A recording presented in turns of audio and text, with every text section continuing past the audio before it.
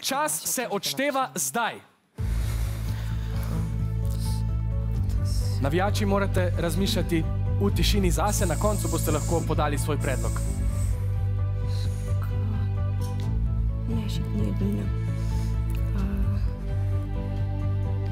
Beseda mora biti v osnovni obliki in v normativnih slovarjih slovenskega knjižnega jezika.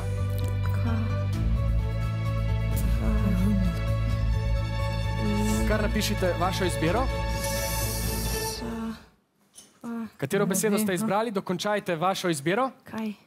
Ker vam je potekel čas, Kaj hitro vnesite vašo izbiro, najdaljšo možno besedo. Izbrali ste leva. Kaj pravite navijači? Kaj?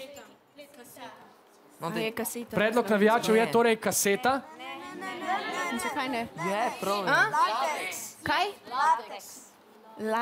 A je to Kater, kater predlog A je navijačev boste izbrali? Ni več časa za Ja, pogovor je, z je, navijači, je. torej Dela. unesite svojo izbiro. La. Kaj ti piše? Sorry, sorry. La. T, E, K, S. Izbrali ste lateks. Poglejmo, ali bo komisija priznala to besedo.